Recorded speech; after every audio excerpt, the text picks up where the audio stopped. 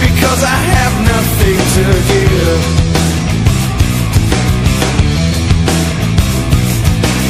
So you call this your free country?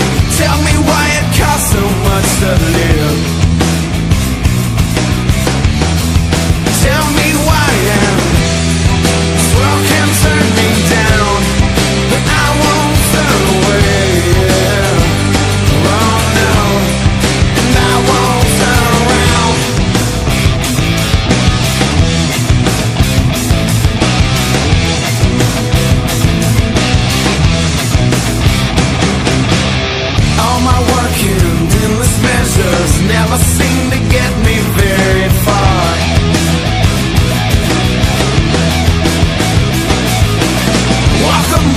Cause I'm moving this now Even though I'm trying so damn hard.